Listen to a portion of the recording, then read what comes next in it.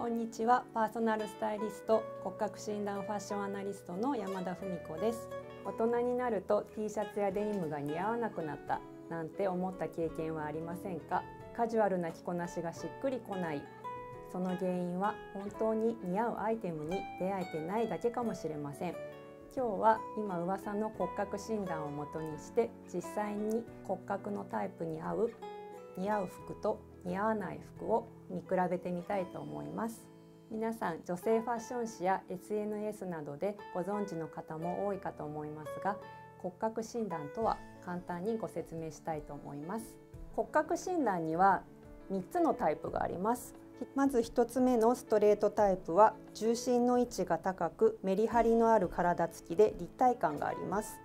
また肌質は張り感があるのが特徴です。似合う洋服のイメージはシンプルベーシックトラットです。次に2つ目のウェーブタイプは重心の位置が低く体の厚みが薄く柔らかな肌の質感が特徴です。似合う洋服のイメージはフェミニンソフトコンパクトです。3つ目のナチュラルは重心の位置は高くも低くもなく四角いフレーム感や大きな骨や関節が目立つのが特徴です。似合う洋服のイメージはボーイッシュナチュラルラフです。自分の骨格タイプがわかるとスタイルがよく見えて着痩せして見えたり垢抜けた印象になります。なので絶対に知っておいて損はありません。もっと詳しい説明は、えー、私の師匠でもある二上由美子先生の B ウーマンチャンネルがありますのでそちらもご覧ください。骨格診断を分かりやすく説明するために王道のボーダー T シャツとデニムのコーディネートを着比べてみました。はい、えー、ストレートタイプさんには、えー、骨格タイプのナチュラルのお洋服を着てもらいました。どうですか？着てみて。ちょっと笑ってますけど。個人的にはこのゆったりゆるっとなスタイルは好きなんですけど、うん、ただこうちょっとだらしのない丈のこのちょっと長長すぎる感じとかがどうしてもこう部屋着っぽさ家でスウェットを着てるような こうちょっとゆるっとすぎる感じが出てしまうなっていうのは着て今思いましたオーバーサイズ体が泳ぐぐらいのあの大きめのボーダーの T シャツにちょっとヴィンテージライクなダメージが入ったジーンズとあとキャンバス地のスニーカーを履いてもらってます。えっと、ストレートタイプさんは、えっと、上下こういったダボダボのスタイル、まあ、ドカジュアルって言われているものがちょっとやっぱだらしなさが出てしまうんですね。女性心であの隠したい願望が出てオーバーサイズを皆さん選びがちなんですけれどもあの逆にあのオーバーサイズなものをお着物を着るとそれが逆にちょっと着太りの原因になってしまうので本当にすごいもったいないんですね。とデニムは、えー、とこう穴が開いてたりあのダメージ感があるものなんですけれどもストレートさんがこういったものを聞くとああもういっぱい履いたんだねっていうちょっとこう着古した感じの印象になってしまいますね。ストレートタイプの似合うお洋服を着てもらいました。えー、着心地はいかがですか？まずもうとにかく着痩せしたなっていう感じがして、どうしてもやっぱりここは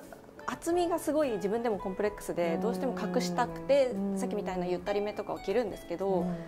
今これを着てさっきとボーダーの幅とかもほぼほぼ同じなのにとにかくすっきりして見えたなっていうのが第一印象で肩幅もあの程よくなんでしょうすっきりしてただこうぴったりめでもあるんですけど肉感を拾わない感じっていうのがすごい今ジャストで似合うのかなっていうふうに感じました。ス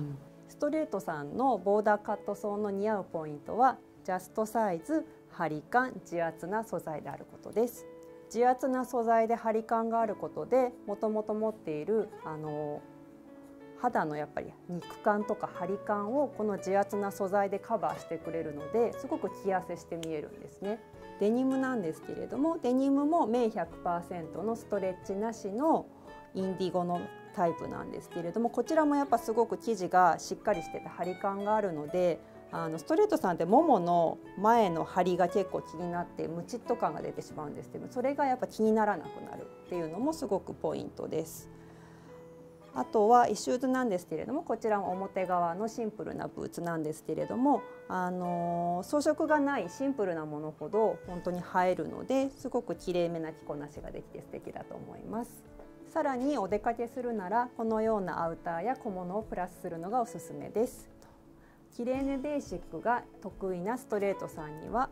えーと、レリルさんのピーコートをおすすめいたします。似合うポイントとしましては大きく開いた V ゾーンと、えー、張り感のある生地あと肩線が合っていることあとベーシックな形であるということがポイントです。はい。ストレートさんのカジュアルスタイルのポイントは少しきれいめにすることなんですね。えー、最近センタープレスのパンツですとかスラックスのパンツもすごくね流行ってますのであのそちらにちょっとスニーカーを合わせるスタイルなんかも今っぽいのであのぜひトライしてみていただけたらと思います。あとボーダーカットソーを選ぶのであればこういった正統派以外にもこちらレリルさんのものなんですけれどもこちらもストレートさんにすごくおすすめのアイテムとなっております。似合うポイントとしてはちょっとこちらのボックスシルエットでちょっと大きめなんですけれども生地がすごくしっかりしていて型線も合ってるのであの今流行りのオーバーサイズのものでも素材感を骨格ストレートタイプのものに合わせることですごく似合わせるポイントになるのでこちらもおすすめです。骨格ウェーブさんにあの骨格ストレートタイプのアイテムを着てもらいました。えー、いかがですか？着てみて。なんかこうちょっと違和感があって落ち着かなくって、重たい感じが全体的にします。ウェーブさんに着ていただいたアイテムは自圧で張り感のあるボーダーのカットソーに、えー、綿100%のストレッチが入っていないストレートラインのものになります。スニーカーはオールレザーのものになります。ウェーブさんは肌質がすごく柔らかいのでこういった張り感の強いお洋服に体型が負けてしまうんですね。なのでどうしてもちょっとこう着せられてる感っていうのが出てきてしまいます。男性のものを借りた感も出て可愛いんですけどねあのちょっとこう重たい感じ、うん、がするのであの肌質に合った柔らかい素材軽い素材の方がすごくあのマッチします。はい、えー、ウェーブさんに似合うお洋服を着てもらいました。えー、どうですか？さっきと比べて。体にフィットしていて、うん、軽くて着心地がいいです。着ているアイテムは先ほどは張り感のある硬い自圧な生地だったんですけれどもコンパクトサイズで薄手であの柔らかい素材感のものになっております。ボーダーの幅もあのすごく細い幅になっているのでそれもちょっと似合うポイントになってますえーと、デニムは、えー、ストレッチが入ったスキニーの細いタイプですねあと伸縮性があるのでそれも似合うポイントですねあとシューズは、えーと、エナメルのちょっと先がとんがった不屈になるんですけれどもこのウェーブさんはあのキラキラしたものですとかあとツヤ感がすごく得意なのであのこういったあのツヤがあるものを着るとちょっと華やかな印象になるのですごくお得意なアイテムです。あの今は先がとんがったものを履いてるんですけれども先が丸くなったバレーシューズなどもすごくウェーブさんには似合うアイテムになります。あと着こなしのポイントなんですけれどもウェーブさんは程よく適度にあの肌を露出した方があのすごく華やかな印象になるので手首とあと足首を見せることであの女性らしさが出てすごくスタイルアップもします。さらにお出かけするなら、えーと、このようなアウターや小物をプラスするのがおすすめです。柔らかフェミニンが似合うウェーブタイプには、えー、ニューヨーカーさんのウールのノーカラーを着ていただいてます。似合うとポイントはこの襟のノーカラーの形とあと素材感になるんですけれどもウールにシルクとアンゴラが入っていることで上品な光沢感と滑らかさが出るのでウェーブさんが持つ肌質の質感にすごくマッチしますこちらもニューヨーカーさんのものなんですけれどもコロンとしたちょっと丸みが、あのー、柔らかい雰囲気を出してくれるのであと質感もすごく柔らかいので、あのー、ウェーブさんにぴったりのアイテムになります。ウェーブさんのカジュアルスタイルのポイントは少し女性らしさを取り入れることで叶います軽めの素材感にのものを選んだりあと先ほどお話したように手首足首を出すことで女性らしさが出るのでそちらも着こなしのポイントになるのであのぜひトライしてみてください。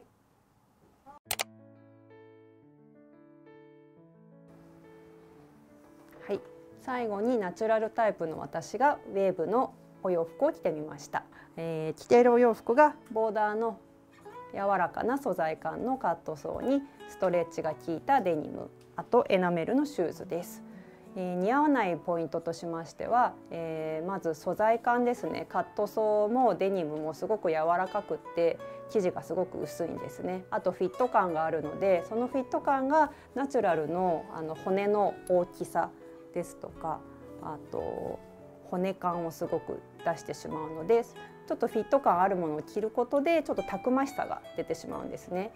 あと細いアイテムを着てるのにそれがちょっとかえってあの着太りさせてしまうっていう悲しい現実があります。